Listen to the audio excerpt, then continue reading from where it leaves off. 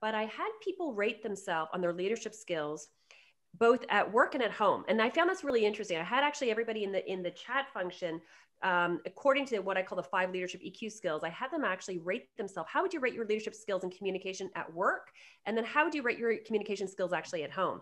And what was fascinating is when I actually saw the data starting to come up, for most people, I'd say over 80%, they were rating their professional skills pretty good. Their personal leadership skills were actually really bad. And it's interesting that we can, even in the, you know, with the chair concept, we can sit in the middle chair maybe at work. But when we get home, we kind of all of a sudden we move to the right chair or we move to the left chair and i think that's really an interesting thing is that leadership really is an ongoing journey. We never really stop. We because we're always honing those skills. We're always kind of improving those skills. Um, and so you know it's something you know for all of your listeners to really think about like really being intentional being intentional like i want to be a great leader who sits in the middle chair. I want to inspire other people around me and i want to inspire my kids at home as well and realizing that this is really in all parts of our life not just work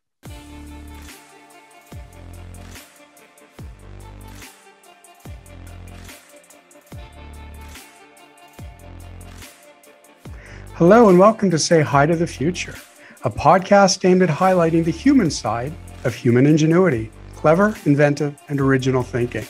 My name is Ken Tencer, curator of Say Hi to the Future and CEO of Spyder Works, a leading business consultancy for mid market organizations and intrapreneurs globally.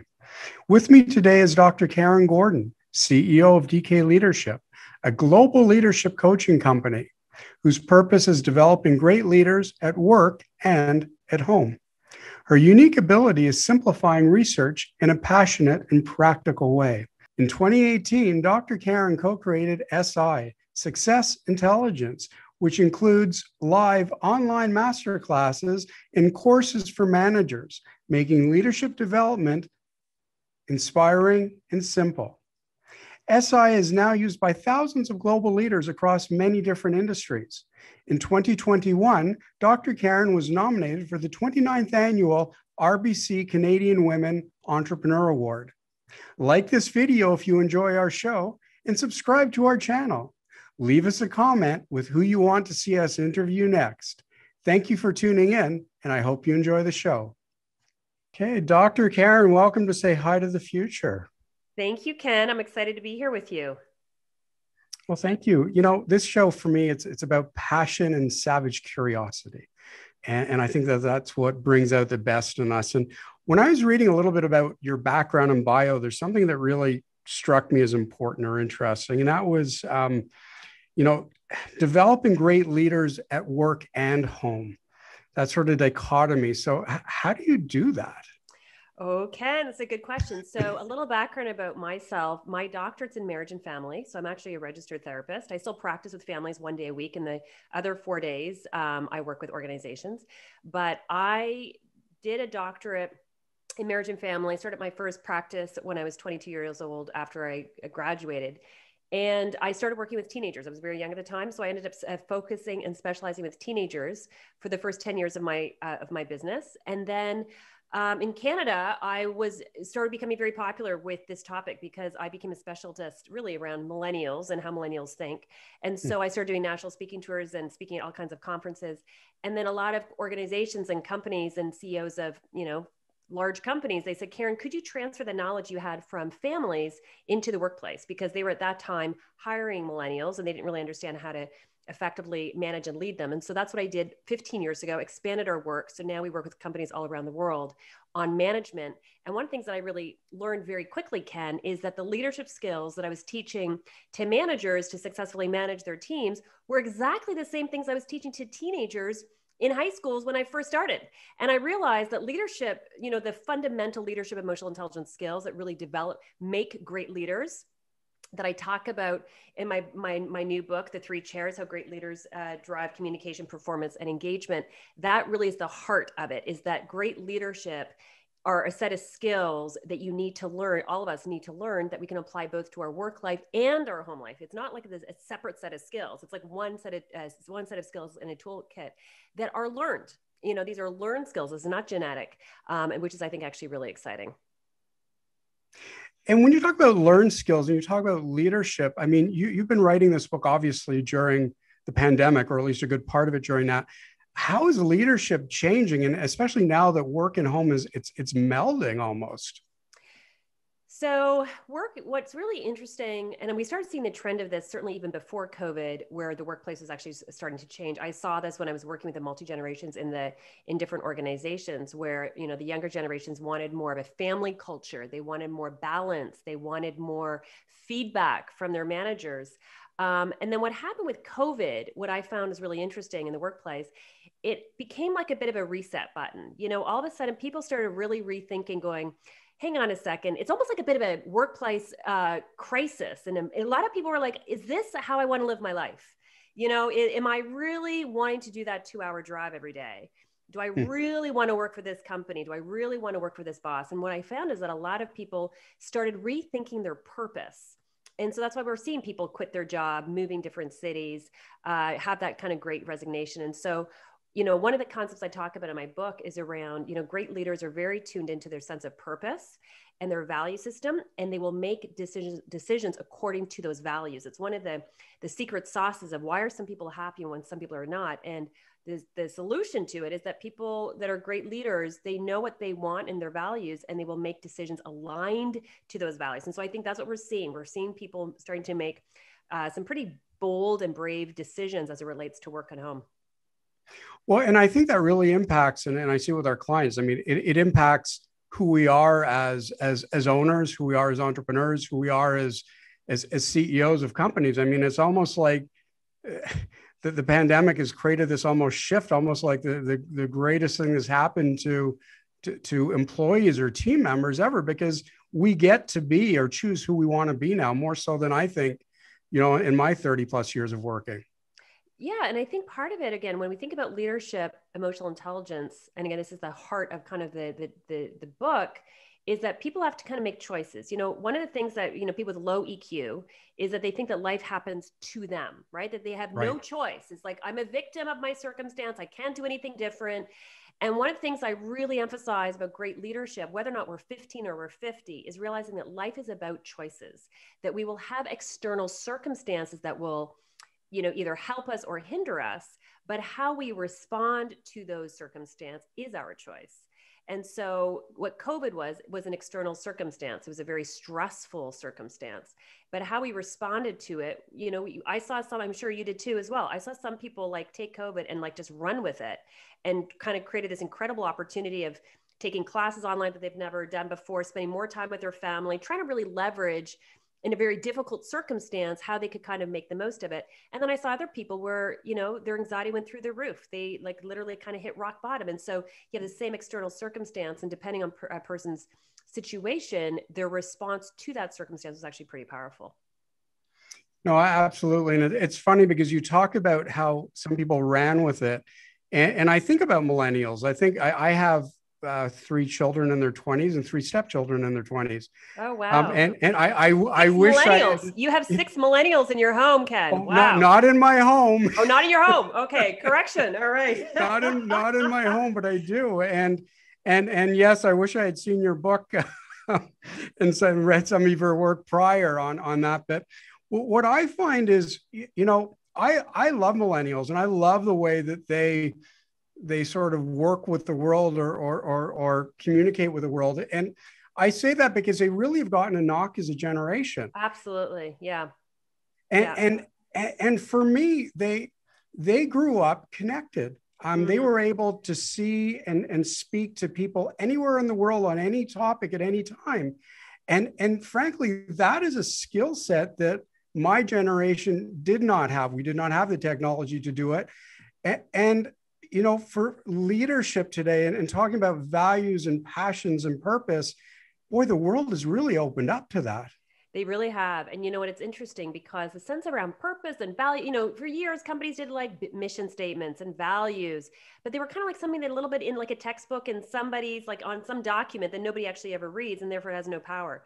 What this generation has done is it's like just taken that concept and just put a big microphone kind of against it. And and it's very powerful because you know when you think about great leaders and when i think about leadership i don't think about a title i think about a mindset you know the, the right. book the three chairs is really about the three types of leaders uh, you know are you an insecure leader on the left chair? Are you an arrogant leader on the right chair? Or are you a confident great leader in the middle chair? And the whole book is around the science of taking all the data that you can actually once a person kind of understands those three mindsets those three different attitudes you can actually with a fairly good prediction guess on how a person's going to make decisions in their life. How are they going to set goals? Who are they going to choose as their dating partner? How are they going to take risks? How are they going to set boundaries? All based on those kind of mindsets. And so you know the whole thing around purpose again that that middle chair leader they know what their purpose are their values their goals they they take action they step on the gas and you can start developing those skills at a very young age. I talk about in the book how my leadership journey started in grade eight when i was told by a clinical psychologist that i had a learning disability and would be lucky to finish high school. And i talk about that in the first hmm. chapter because that's when my journey started. And so you know everybody has situations, obstacles, barriers, we all have it, just different ones. And so, if we can kind of start teaching those leadership skills early uh, to our children, our teenagers, it will help to prepare them for the workforce so that managers don't have to try to be teaching it to them when they actually hit the workforce. Right. How do you find that right balance? I mean, you're talking about the middle, um, you're talking about management, you're talking about the, the three chairs in the middle, but I mean, as a CEO and a leader for, for many years, I mean, there's a certain part of insecurity that actually I think heightens who you are and how you see the world. And on the other side, you know, you, you, you can't be arrogant, but there's a there's a certainly as an entrepreneur, there's an audacity sure. um, in who we are and what we do. So how do you how do you hone that and find that that proper balance in the middle? So it's a great question. So I want everybody listening and watching to think about, oh, well, hold up the book, just so you can have a visual because visuals are really powerful. So here's the book, and here are the three different mindsets. And this is all built based on science. Okay. This is so I came up with the concept of it. I basically took all the data and I simplified it, but it's all based on research. So I'm going to go through the three attitudes real quick. And I want everybody to think to themselves, where are you sitting the majority of the time? Okay. Where are you sitting the majority of the time? And then how does that affect your everyday? How does that affect you at work and actually at home? So left here, you've got the insecure person. That's the person that's really tough on themselves. They put themselves down. Um, you know, if somebody gives them a compliment, they're like, oh, you know what, you're just saying that. They kind of put themselves down. They're tough. Okay. They're really tough on themselves. The one on the right is the arrogant leader. They're cocky, they're arrogant, they're full of themselves. They will tell you where to go and they really don't care what you think. Then you've got this middle chair leader. And the middle chair leader, that confident leader, is the person who they have a sense of confidence. And to your point, Ken, they have a sense of confidence. They know what they want. They're going to go after it. They're going to take those initiatives. But the other thing about it is that they're very open to feedback. This person over here is not open to feedback. This middle right. person is open to feedback. They're open to feedback because the difference, the big difference between these two chairs, up to your point, is humility. So that middle chair leader is realizes I know a lot, but I don't know everything. So I'm going to surround myself with people that know more than I do. I'm going to be asking for feedback and I'm going to be trying to do something with that feedback. The person over here, very, a lot of times feedback fragile. They're going to avoid conflict at a lot of times. And so when, once you start kind of understanding those three different attitudes, you can kind of go through the book. You can see, okay, if I'm sitting in the left chair, how does that affect my goal setting? If I'm sitting in the right chair, who am I actually attracted to as a partner? I mean, when you start kind of getting into it, it's fascinating on how it affects how these three mindsets affect decision making because life is all about making decisions. So to your point, we see a lot of entrepreneurs that are sitting in that middle chair, the great ones are the ones that they go after it, but they're open to feedback and um, and they're and they're human they're humble there's a there, there's a i think that would probably be right. the most one of the most significant different uh, di- uh, differentiators between certainly the the different uh, the different mindsets there you go. And you just had a little lesson, Ken. You just had a lesson. That is that is awesome. We, we I think all of us need that, and, and I appreciate that. And you, you know, it, it does it does play off of, of one thing that I say quite a bit when I speak about innovation and and ingenuity. And you know, I, I tell business leaders to look at athletes because mm. when they're on the podium, you know, behind them is is their coach. Um, right. It's it's their psychologist or sports yeah. psychologist. They're yeah whoever keeps them them fit and training and and and you know developing the, the proper nutrition they are used to being part of a team. And as business leaders especially again those of us in my generation of, of 50 plus we were taught that we were supposed to have the answers. Right. Um, we were supposed to be the go-to. And how do we take that first step to saying it's it's okay to have a team? In fact you really need one and and you don't need to have the answers all the time I think it's exactly what you're saying. It's really adopting this new mindset on the growth mindset, the humble mindset. It's that it's realizing that the greatest leaders, and we can all think of somebody who is probably a great leader who's sitting in that middle chair, is the person that says, I know a lot, but I don't know everything. Nobody can. It's an unrealistic expectation to think that somehow we should kind of have it all figured out. So when I think about the greatest leaders in my life, both personally and professionally, these are people that are sitting in the middle chair that they they surround themselves with coaches, with mentors, with colleagues that will challenge them. We don't want to be surrounding hmm. ourselves with all the people that are going to be saying yes to us all the time. We want, you know, the great leaders intentionally ask for feedback so that they can actually really grow as a person. And I think that's a really healthy mindset. That that's the growth mindset. Um, and you know, when I do training, whether it's you know to management teams, yesterday we, we just finished a six week program on developing great managers in our company, and we had come uh, we had people in seven different countries, and we were talking about what great leaders do, what great managers do. And what was really interesting in this particular interactive is all virtual, uh, but I had people rate themselves on their leadership skills both at work and at home and i found this really interesting i had actually everybody in the in the chat function um, according to what I call the five leadership EQ skills, I had them actually rate themselves. How would you rate your leadership skills and communication at work? And then how would you rate your communication skills actually at home? And what was fascinating is when I actually saw the data starting to come up, for most people, I'd say over 80%, they were rating their professional skills pretty good. Their personal leadership skills were actually really bad. And it's interesting that we can, even in the, you know, with the chair concept, we can sit in the middle chair maybe at work. But when we get home, we kind of all of a sudden we move to the right chair or we move to the left chair and i think that's really an interesting thing is that leadership really is an ongoing journey. We never really stop. We because we're always honing those skills. We're always kind of improving those skills. Um, and so you know it's something you know for all of your listeners to really think about like really being intentional being intentional like i want to be a great leader who sits in the middle chair. I want to inspire other people around me and i want to inspire my kids at home as well and realizing that this is really in all parts of our life not just work. Right. And you said something there about you know continuous or ongoing learning. And one of the things that, you know, again, as, I, as we talk about here is savage curiosity. And within within our company, within my company, I've always pushed people to to take, you know, learning or or, or development of, of, different skills or programs every year. And mm. some of them, some of them will go, you know, to pottery. It doesn't have to be about business. Oh, wow. It doesn't have to be about what we're in. No, and and people have always said, well, how does that help your business? Why are you paying for that? I said, because it's freeing because they're learning a different skill because they're seeing the world through a different lens. And to me, what I'm hearing with the three chairs in leadership is that you need to understand how to open those different lenses. Oh, Oh, Ken, I love the fact that you pay for that for your for your team. That is so amazing. so what that ties into is one of the concepts I talk about in the book is how to engage in terms of around engagement and retention.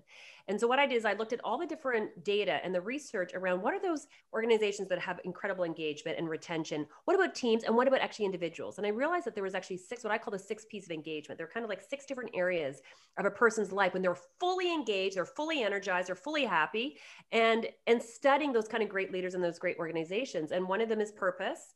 The other one is professional growth. The other one is play and uh, uh, personal relationships you've got you know physical health so there's different categories. And one of the things i do is i get individuals but also teams to start mapping out the goals that they actually want to do for all six. And right. so what i'm hearing from you is that that's actually essentially with what you're trying to do. You're trying to get your people to say listen you are a holistic person. You're not a one-dimensional person. And we want to support you to be about developing holistically. I mean talk about a great place to work. That's exactly the kind of mindset of a of a great workplace uh, environment that we're certainly encouraging in the book. Well, thank you for that. I, I've enjoyed it for a number of years. yeah, um, and, it, and, it's energizing, right? When you're talking about yeah. obviously you have people kind of come back and they're energized because they like made a made a bowl or made a cup, and somebody else is taking coding, and all of a sudden, what happens, and that's the power around the six P's, is that when you start tapping into people's energy, emotional energy, all of a sudden it kind of starts fueling because emotional energy is contagious. So when you have somebody who is energized and passionate, it just fuels this this in, in and so that so that could be the short answer when people kind of question about why you're paying Perfect. for pottery. Yeah, it's emotional energy. Yeah. Perfect. Thank you. Can, can, we turn the clock back a few years? Um, you, you developed something called SI or Success Intelligence. And one, I'd love to hear a little bit more about it. And the other thing, I, I guess my question is and it goes to great leaders is how do you know when you're successful? Okay well the okay so the short answer is success is and we call it success intelligence because um, success is very personalized. So how i define success will be very, very different than how you su- define success. And so what we did with the program is we basically uh, started to get people to identify what does success look like to you? I want you to define it according okay. to the six P's of engagement. That's kind of like the end goal. Right. Um, right. So whether or not somebody wants to do a marathon or like be married or have kids or save X amount or have an MBA or whatever those kind of goals are that they have. So that's kind of like the end goal. But then how do they get there? So you have the what and the how. So right. success is all based on the six P's of engagement, but the how is your emotional intelligence uh, you need that kind of emotional intelligence to kind of help drive that because somebody might say, I want to have an MBA, but then they don't do anything. So they have this goal, but they're stuck because their emotional intelligence, they're sitting in that left chair, that right chair. They're not moving. They're blaming everything on everybody else, or they're not prioritizing, or they're not setting boundaries, right? So, so what happens is we can have these these definitions of success, but if we have not developed our emotional intelligence, we're kind of in limbo land.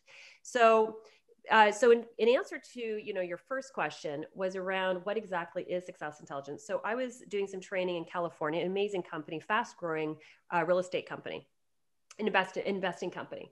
And i was doing an all day management training and the head of hr she said to me this is about three and a half years ago she said, Karyn, our team loves you. There's about 100 people, but we're in different states and we don't want to have just like a day training. Um, we, we want something ongoing. So, what could you do that's actually online or virtual? And I had already been thinking that I wanted to start kind of create something. So, that was a bit of my push, my catalyst. And so, together with it, with in addition to a couple of Canadian companies, we we created a beta on could we develop some kind of an online leadership coaching program to really train people of those emotional intelligence skills to drive that right. success. And so we did the first year. We got tons of feedback. Um, and then we actually created and kind of launched the second year. So now we've been doing it for three years. Um, we're in seven countries, 4,000 people are now licensing our program. And it's been an incredible journey. We work with all kinds of amazing organizations. And essentially, with what it is, it is uh, think of it like TED Talks TED Talk meets Netflix. So it's like a platform. Hmm. You have a whole bunch of different like training modules on different emotional intelligence skills. How do you give feedback? How do you receive feedback? How do you deal with tricky people? But they're only 10 to 12 minutes. And that's kind of the, okay. the, the secret to it because people don't have more capacity than that. But then we also have live online classes that I lead so that people can watch the online ones, but then they can kind of come to our live master classes. So they have that interaction because I really do find with online training, it's great to have it there for 24 7 you know uh, consumption but people really do want access to their teacher. They want to get to know their teachers right. so we have this live online master classes. And then we also have in addition courses that are part of it because a lot of our organizations that we work with they want things specifically for managers. So they want specifically things for um, uh, their emerging leaders or their senior leaders. So we have like six week track programs to really help um, uh, help different types of leaders. And the biggest thing is that we try to make it really affordable so that everybody can learn the skills at the same time. Because one of the things that I found in this space is that too often, you know, a manager is about to get promoted and they they're shipping them off for a three day program. Well, if that manager now leaves, you know, it's it, from a cultural perspective, it just doesn't work. So if we can make something that's really affordable so that everybody within an organization can be receiving the same training, that's what kind of makes things electric. And so that's how we developed it. So, you know, entire companies can actually do it for their employees. And so it's been so much fun and just keeps evolving. And, you know, to your point about what you were saying bit earlier about the family, we created this on teaching amazing leadership skills and tools for businesses. And then when COVID came, a lot of our business leaders saying, Karyn, I'm at home with my kids, help, but this content's amazing. Can you actually transfer it more to the family? I said, absolutely. That's where I actually started. So we started actually creating modules and training specifically on how do you teach this to preteens and teenagers. Um, and our business leaders just love that. And so, so I think we're going to start building out that family side because a lot of leaders want to be able to apply to both parts of their life, right? We're, we're multi-layered, you know, multi-layered, um, it, you know, not, uh, not one layered, uh, one focus. So it's been really fun. No, it, it, sounds it. And, you know, it's very hard to find a, a, silver lining to a pandemic. But I think as you talk about what you're doing and, and, and I think we've learned a lot about work life balance. I think we've learned a lot about who we are. And I think we've learned that we learn and take in information in different ways. And, and what I'm hearing from you is, is just wonderful because you you've pre-thought that hybrid. So I, I think that's an incredible place to be.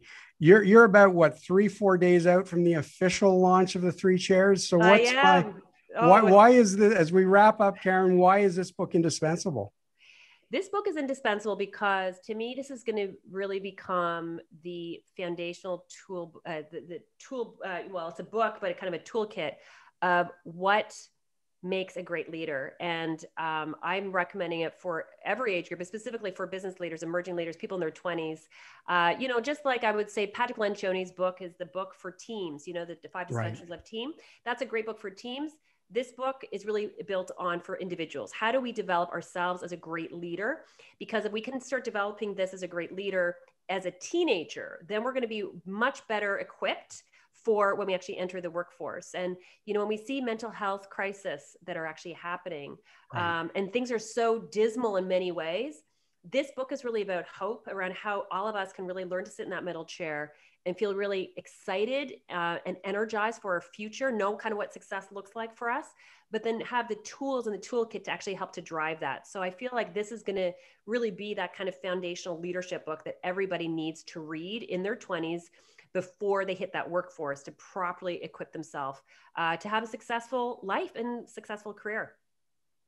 Thank you so much, Deck. Dr. Karyn Gordon. Your new book, The Three Chairs, is coming out on the 31st. It was an absolute pleasure having you on today and uh, best of success with this. Thank you so much, Ken.